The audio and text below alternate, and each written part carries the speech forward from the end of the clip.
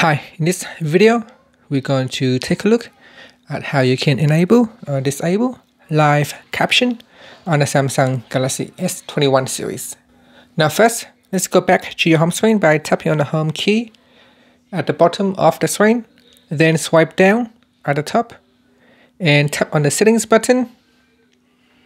Next, go down and tap on accessibility, then tap on hearing enhancements and here tap on live caption and tap on the switch to turn it on or turn it off.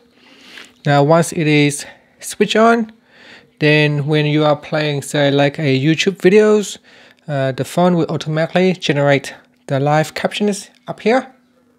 Now we can uh, test it out. So I'm opening up my voice recorder and playing audio. This is a test. This is a test. This is a test. And you can see live captions appear on the screen. And that's it. Thank you for watching this video.